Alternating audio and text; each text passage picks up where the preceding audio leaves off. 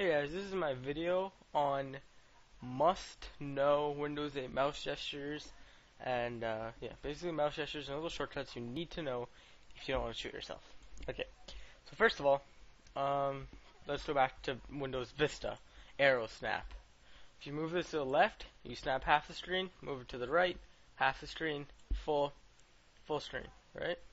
Also a shortcut, let's say you have more than one monitor, hold the Windows button and press left to left for left, right for right, up for full, down for whatever. The yeah, you get you get you get the point.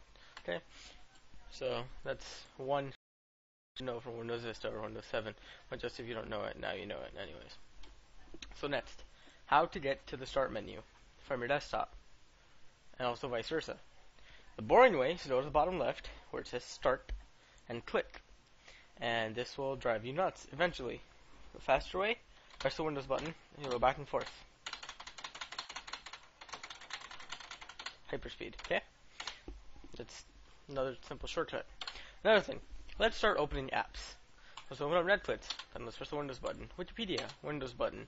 Whatever, Living Social, Windows button. Newegg, Windows button. News Bento, Windows button. Uh, what is this? Oh, Fruit Ninja, Windows button. I don't actually play that game, so just told me download it. Smart Glass, Windows button. Skype, Windows button. Pop Science, Windows button. Uh, New York Times, Windows button. Okay? And now, let's say I want to go back to one of those, but I don't feel like clicking on it again. Um, I can go on either desktop or on this, go to the top left, and there I can go to desktop, just like the bottom left.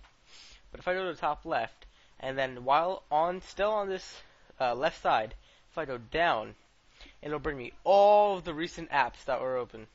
So, Wikipedia, Fruit Ninja, News Bento, you know, all of this. No need to go to 74 different apps. Right up, right here, I have them all. Okay. Along with this, let's say you need to act. Okay, now we're getting in trouble. See, the reason why you don't want to use the bottom left shortcut to get to your desktop is because it's going to start showing your other apps and that is going to create a problem for you, which will eventually make you want to jump off of a bridge into freezing cold water. So just press the Windows button to make it easier. Or no, see if you press the Windows button, then it'll start bringing you to your last apps as well. If you have more than one app open, so just press the desktop button to go from here to here, and to go from here to the start menu, Windows button, from the start menu to the desktop, desktop button. Right? Because if you have more than one app open, and then you're on the start menu, then you press the Windows button, it will, let's see, this is my last app, right? Press the, Windows button, it'll take you to the last app. So that can actually be useful if you want to do the last app, but it's going to be extremely annoying if you're doing anything else. And then we're going to move to the uh, final shortcut I have for you. On the bottom right, you have the minus button on the start menu, which will do this. No one's really interested in that.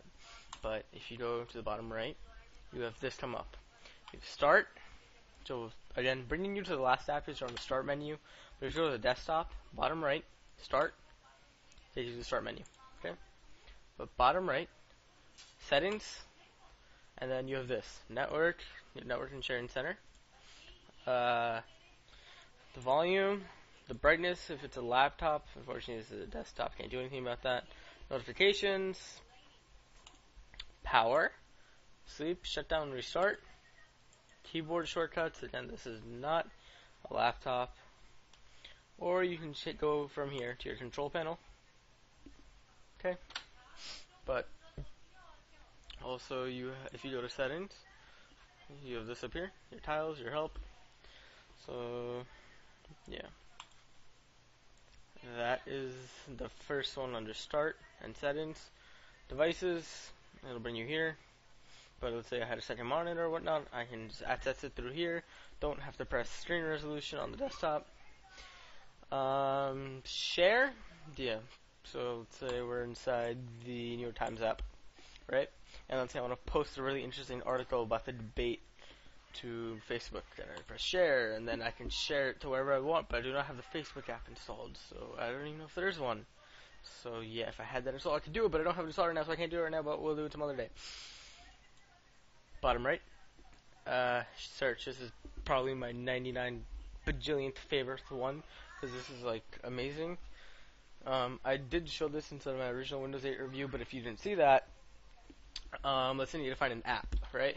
But it's not over here in this giant start menu mess. Go search. Say I want to find the calculator. Type in calc or just begin typing whatever. Calendar calculator inside apps. Let's say I want to find it in the settings. For settings, show me everything for settings. Files, Jesus Christ, 3,982 of them. Let's say I want to find a calculator in the store. For store, search the store.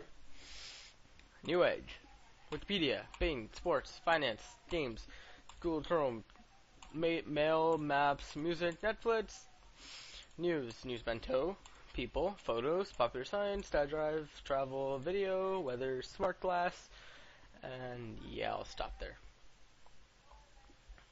So this has been another video by DudeX Rocks. Comment and subscribe, and if you have any more uh, suggestions or whatnot, leave it down below in the comments, and I will probably make it the same day, if not close to the day you posted it, depending on how much time I have on my hands. Thank you, and now I'm going to go to my desktop, and this doesn't take forever to end, because I have to go here, then I have to right click here, and then I have to press stop.